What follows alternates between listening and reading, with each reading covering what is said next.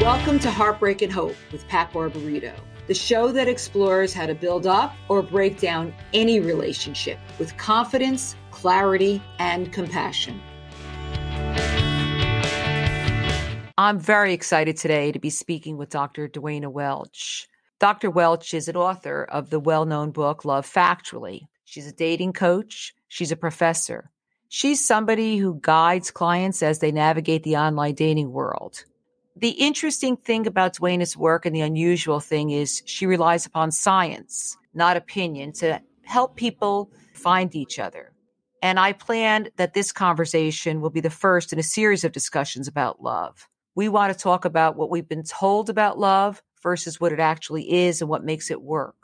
But before Duana and I talk about her groundbreaking research, you should know that I was introduced to Duana's work earlier this year. And after reaching out to her, thinking, well, we're both in the relationship business, we should talk, we began a series of what I perceived, and I hope she did, fascinating discussions about our respective work in the relationship business and about our lives.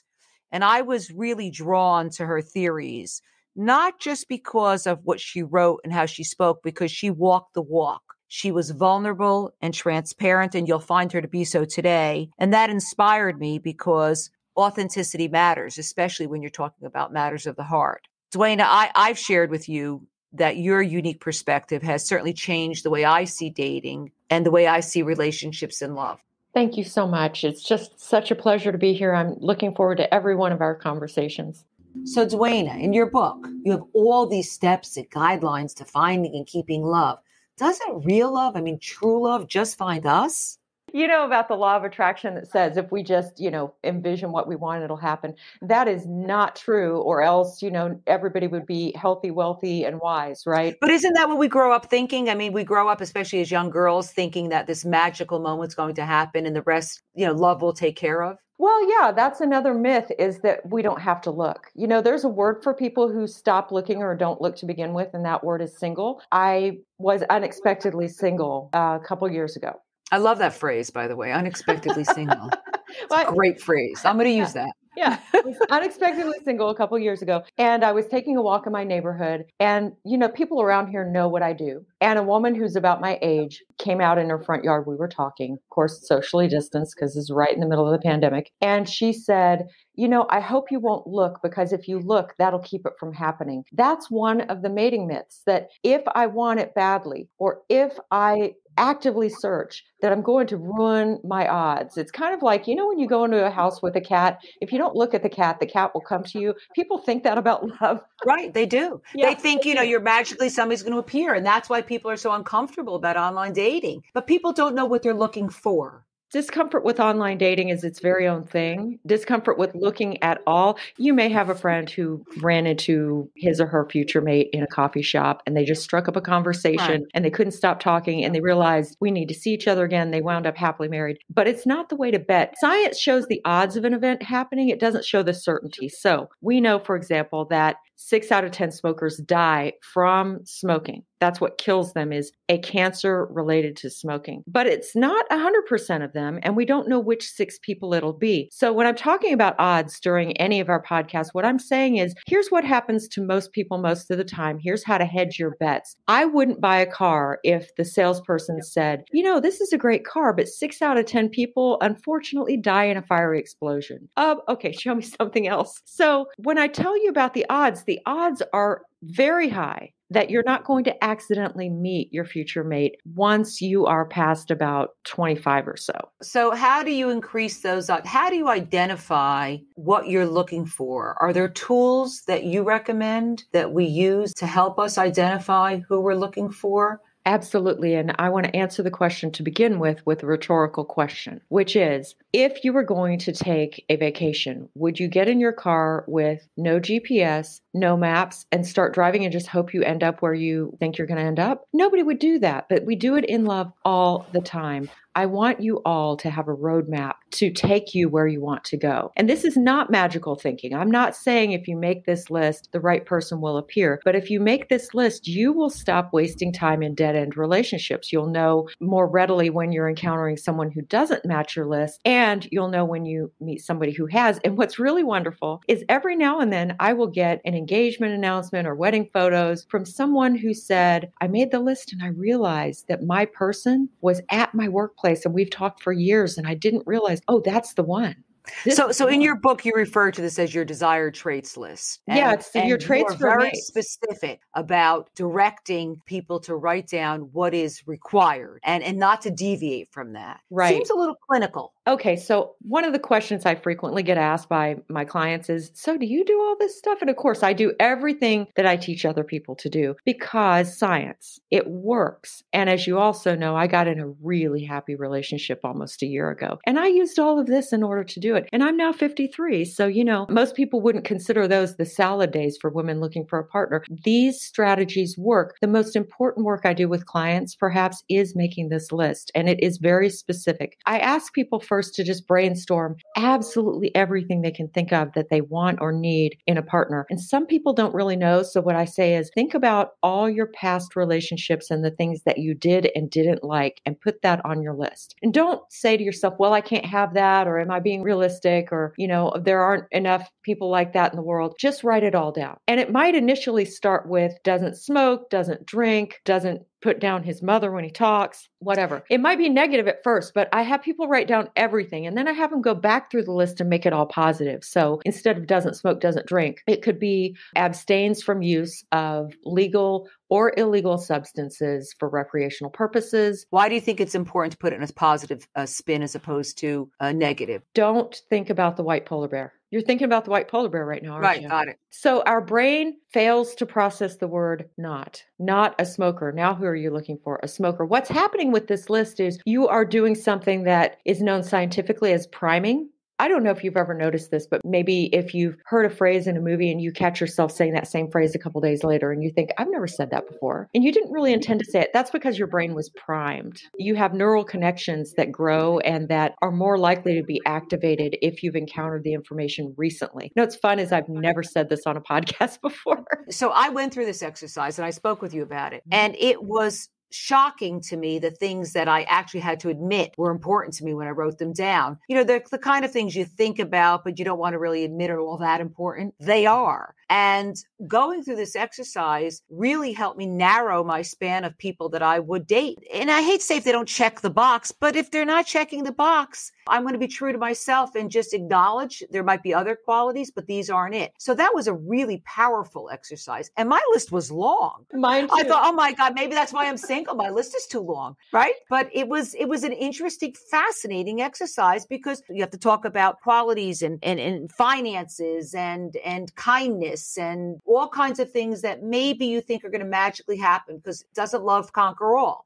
I, I think yeah, I wish it love, did. It these sure things doesn't. will matter. So there's research by uh, Holmberg and Holmes that sh- in uh, I believe 1990s they looked at more than 400 couples when they first got married, and they found that all these couples described themselves as very happy. And then they found them two years later, all the same people. And of course, two years And- later, some people are no longer very happy because you know about half of all divorces that are ever going to happen happen in the first seven years, and most of them happen in the first two years. You know this from Right. That's work. what I do. Exactly. So a lot of times, though, it was that people fell in love without having the skills to back it up. And Let's talk about that. What does that mean? well, they don't know, for example, how to show kindness and respect even when they've had a bad day or they disagree with one another. That's a huge one. They make assumptions about each other without clearing them up in a kind, respectful way. I will say two standards that belong on everyone's list are that this person is kind and respectful, whether the other person that they're dealing with or the animal they're dealing with has any power, no matter whether this person has had a good or a bad day,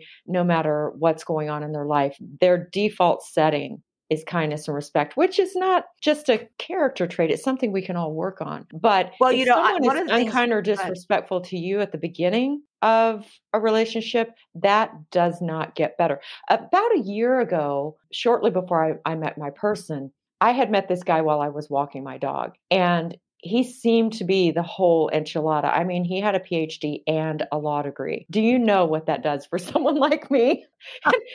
he was fascinating. And he, we started talking every day. He asked for my number, and we were talking on the phone every night. And we were just having a great time. And he asked me to be his girlfriend. And this is during pandemic. So we'd never been within six feet of each other. So we're six feet apart the whole time. And he says, I want you to be my girlfriend. I want to take you on a real date. And I said, delighted to do that. Wonderful. So we made a plan to quarantine for two weeks so that we could be within six feet of each other and a plan for him to pick me up. And he instantly started doing things that don't work in a long term relationship. And I mean, I do what I do for a living. So I see these things very clearly. Like what? Well, like I live one street over from a very large, beautiful park and he took his dog on a walk there. He has to drive to get to the park. And he didn't let me know he was there. A man who's just asked you to be his woman does not go within a few yards of you and not ask you to join him. Okay, but that's something that I now know after our conversations, but there might have been a time where I might have made an excuse for that. We yes. all make excuses. You know, he wanted to be alone that day. He's been close in other ways. But that to you was a red flag. It was a red flag. And, and so I did. I don't know if we're ever going to do a podcast on attachment style, but yes, that's, I love that topic. Yeah, it's super important. And one of the things that I believe went wrong for some of the couples that Holmberg and Holmes studied was that some of them had an attachment style mismatch that was unworkable unless you know a lot about it, unless you eh, self educate and maybe get therapy about it. And so I recognize that while I have a secure attachment style, he has an avoidant one. And so you could have all the right traits, and this has happened to me all the right traits, check all the boxes. But if your attachment styles are not the same or your understanding of a relationship is not the same, it's not going to work. Is that what you're telling us? What I'm really telling you is that people don't all have the same capacity or desire for love. That's my, a very powerful statement. Yeah, it's really when when that thought hit me that that summarized this enormous area of research on attachment style that people don't all have the same capacity and desire for love. I realized, oh my gosh, a huge part of this is finding someone whose capacity and desire for love matches mine. I have had an anxious attachment style and now I'm secure. Both of those types of styles have a very high capacity and desire and ability to love. Whereas people with an avoidance style do not value intimacy as much, and therefore they don't put as much into it and they don't develop as much love. They're not as willing almost ever. I'm not saying that can't change, but it's probably not going to change with you. That's not the way to bet. And so I recognize this guy was doing things like all of a sudden he expected me to do half the courting. That's not a good sign. Men who are secure or even who are anxious, they want to court you. This was him throwing down the gauntlet, creating a power struggle where there wasn't one. And I recognized what was going on. So when that happened that night, I'd been observing for about a week at this point. Also, he went to a party after we were quarantining, which meant that our date had to be put off even further. Look, a guy who really wants you, if he has to quarantine two weeks to see you, he's not going to wait four days into it and go, uh, you know what, I think I'm going to go to this thing. So, you know, you list the personality traits, right? And and by the way, you were talking about kindness. I, I think probably one of the most common themes in people that I see whose divorce are ending is they stopped being kind to each other a long time ago. Yeah, you can't um, ever stop. And and that's right. It is probably the, the most significant thing that happens to a marriage that ends it. There is a disregard for emotion. There's no more kindness. There's no more sensitivity and it will kill a relationship. Yeah, it's about these traits. So I actually asked him on the phone that night. I had observed for about a week that he was pulling back. I said, you know, I think we might have done the girlfriend thing a little quickly. I'm seeing some signs of some pullback and I'd like to talk about that. And that's what secure people do and it's what i try to teach a lot of my non-secure clients to do is when you see something say something but say it kindly. Don't say you don't love me or you don't no. like me or you start with an i statement. I'm noticing this. I'm wondering what it means. Ask open-ended questions. Be accepting. Be open. So i did that and he just lit into me He took things I had told him in confidence and used them against me in the conversation. And here's that was the end of that. Oh yeah, but but you say that as if well that's a foregone conclusion. Almost everyone I've ever worked with it wouldn't have been the end. They would have tried to accommodate the person. Of course. They would have asked what's wrong with with me. In fact, I will go so far as to say nobody I have ever worked with would have left right then. I did because what have I been doing for all these years? What was really interesting is that I found out from other people who knew him that this is how he treats women. Right. So I had already left him. I sent him a Dear John email and said, Unfortunately, the level of unkindness and disrespect in that call has made it where I can't interact with you anymore. And that makes me really sad. But basically, our work here is done and he he responded with an even more cruel response. And i thought good to know. Good to know. Kindness yeah i know this is tough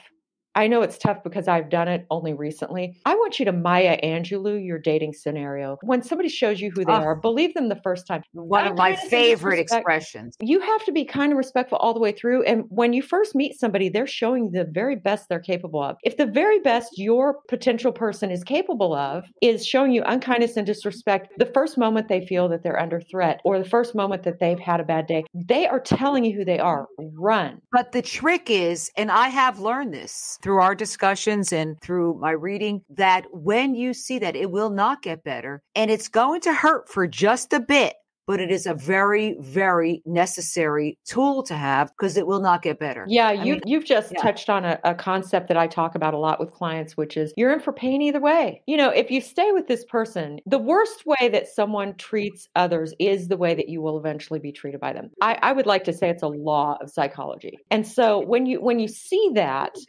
you're in for pain if you leave them because at this point you are kind of attached to them but you're in for a lot more pain if you stay because that's how you're going to get treated and life's too short and and it is a certainty that you will not stay together. People who are unkind and disrespectful over the long haul are people who disconnect become lonely and leave each other. You know Duana one of the first things i do when somebody comes in to see me for a divorce consultation is i say to them don't tell me about what's happening now Tell me your story, how you met, about your courtship, about your marriage. I would say in most cases, when you examine the courtship, there is something that connects to the reason for the divorce. There were excuses made for unkind behavior. There were excuses made for alcohol abuse, excuses made for infidelity. And when you turn a blind eye to those things early on, and we've all done it, I certainly have, not above it, it always comes back. We always go back to those original issues. They might be uh, masked for a while, but we go back there. Yeah. One of the things I want to talk about that you speak about is capacity. Can we talk about that for a minute? Because I think that what's very powerful about your work is you explain relationships or somebody not working out, not as that they're a bad person or that it's a failure,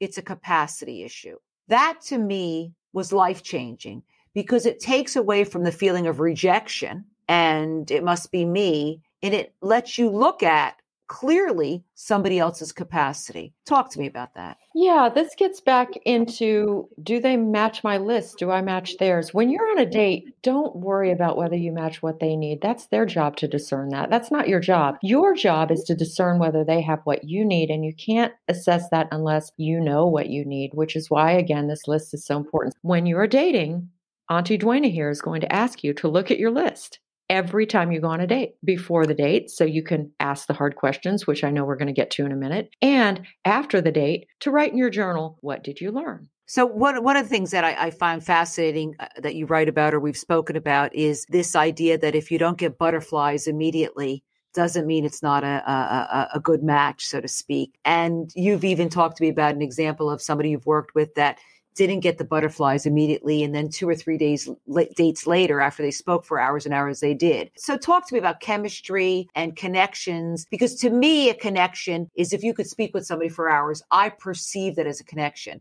My experience, and I had a particular experience where that person didn't perceive that as enough of a connection to have chemistry. So that's an interesting concept to me. I think we're raised to think there's this magical chemistry that happens and sometimes it develops and sometimes it doesn't. Yeah. So that is so interesting that you brought that up, Pat, because a lot of times men and women have under their must haves that there must be powerful chemistry. And I say, so that's fine that there must be powerful chemistry eventually, but I hope you don't mean right off the bat. And many people look really confused or disheartened when I say that. The example you're referring to, those letters are in my second book, Love Factually for Single Parents and Those Dating Them. She allowed me to post our letters to each other, where the first letter, she's like, I don't know, he's just too small, he's not tall enough. I don't I don't feel like a petite flower when I'm with him. You know, I like talking to him, but I really didn't even want to hug him. I don't want to kiss him. I think of him more as just a friend. And what I told her was, I need you to remember that the best people don't always sparkle right away. I need you to remember that the rule is if he meets your must have to the extent you can assess them so far, and you're not physically repulsed by him. Notice I didn't say you are attracted. You aren't physically repulsed. If you're neutral or simply not repulsed and he doesn't have any of your deal breakers, you got to go out with him again. That's the rule. I think men and women look at that differently, don't you? Well, for men, they know the second they like you whether they would want to have sex with you. So, from their standpoint, most of the time, most of the time, you know, nothing I say is going to apply to every single person of course every not. time. There No, are men not. who are very eh, they don't get attracted to very many people and when they do it does grow over time because of the emotional connection. And there are other men who just know bing you're it or you're not as far as the physical attraction. I will say this, if a man's answer to could I want to have sex with her is no, he need to look no further. But that's a Yeah. little different than we have huge chemistry. That can still develop. With women, you know, there are women that I've worked with who they weren't repel- uh, repulsed, but just like the example I just gave, she thought he was too small. She wasn't really attracted to him. She didn't want to kiss him. She just kind of thought of him more as a friend. I have a letter in my book that was written two months after that one. She wrote it two months after where she said, I've never felt butterflies like this before It's great. I love that. don't rush to judgment on this. Whether you're male or female, when you start getting to know someone, you will either start liking them more and more or less and less. Wait Right. until your gut tips one way or the other, which it will.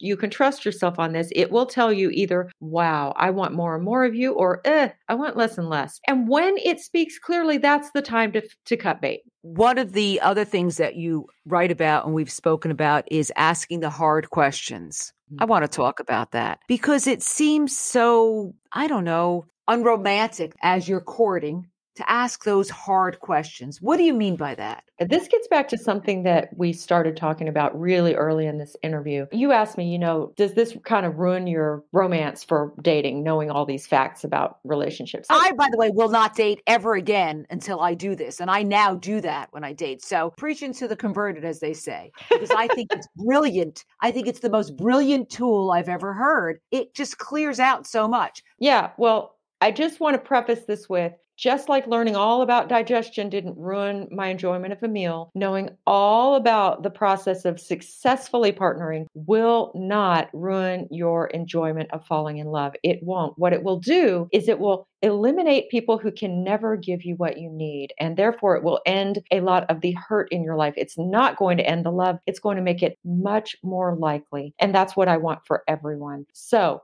the hard questions. We're going back to the list. Are you getting the impression the list is important?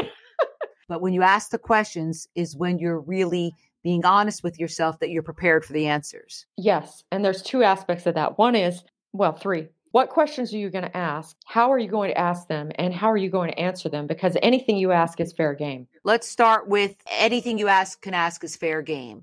Yeah. What's too much to ask? What's too little to ask as you're getting to know somebody? So I want you all to have that list and go over your list and make sure that you come up with ways to assess that. For example, uh, is this person kind and respectful? Well, you can't ask people, are you kind and respectful? Everybody will say yes to that because it's socially desirable to say yes. And people want to think the best about themselves. You know, in research, 90% of drivers think they're better drivers than 90% of drivers. So you can't ask people that and get a real answer, but you can look at their behavior. On the other hand, there are some things that you just have to ask about. So- Because you're not going to talk them into anything or out of anything, particularly at a certain age.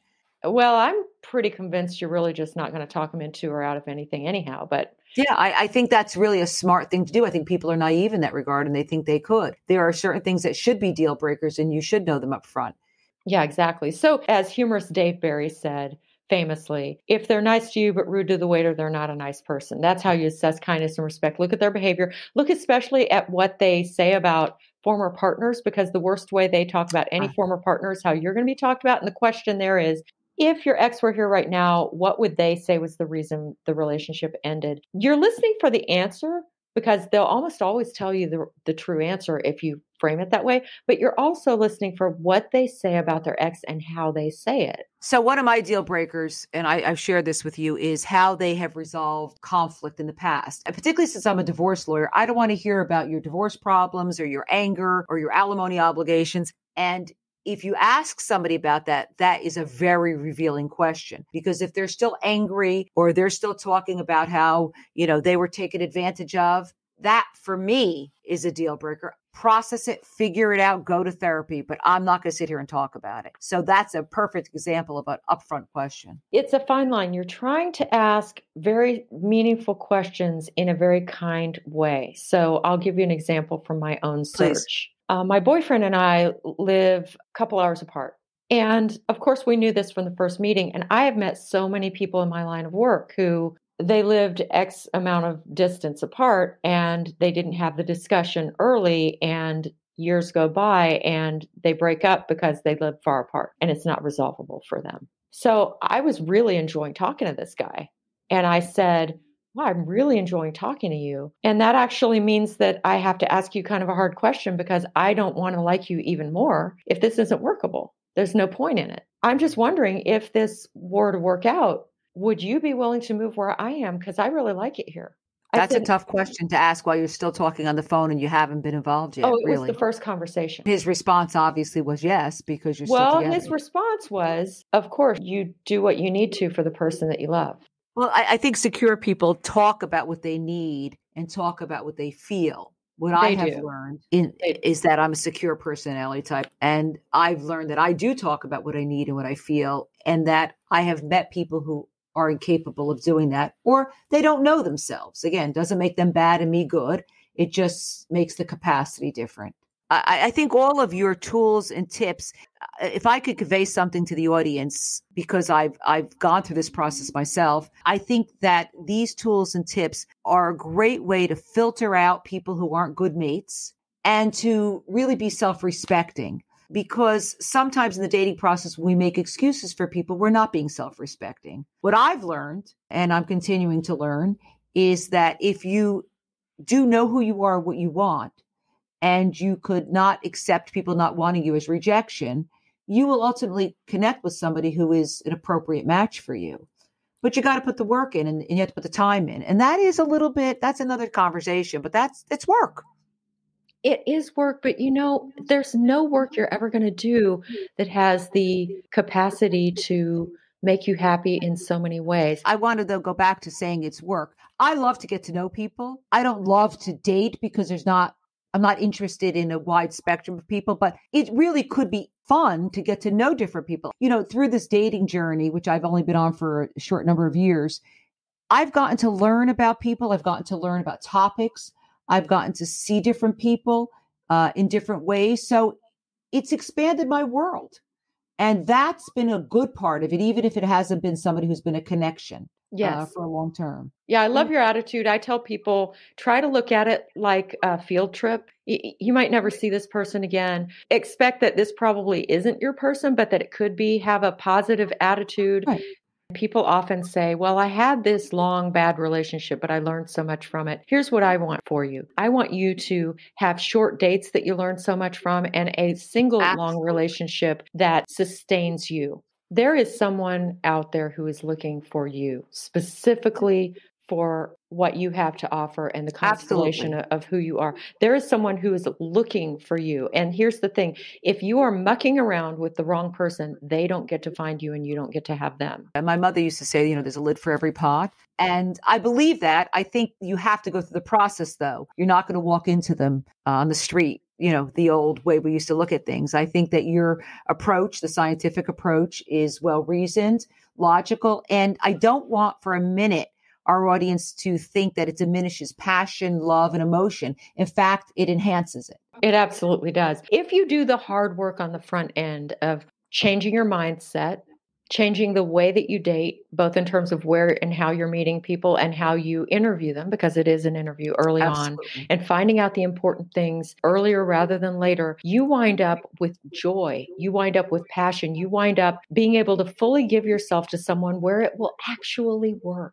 Well, what I'm looking forward to, Duana, is hopefully in our next conversation, we're going to talk about attachment styles, how to identify attachment styles, how to know your own attachment style, and how that's a simple process to go through to really see if you're a good match. And I look forward to exploring that on our next conversation. Thank you so much for joining us today. Don't forget to follow us on your favorite podcast platform. Please give us a five star rating and leave a review so more people can listen in to Heartbreak and Hope with Pat Barbarito.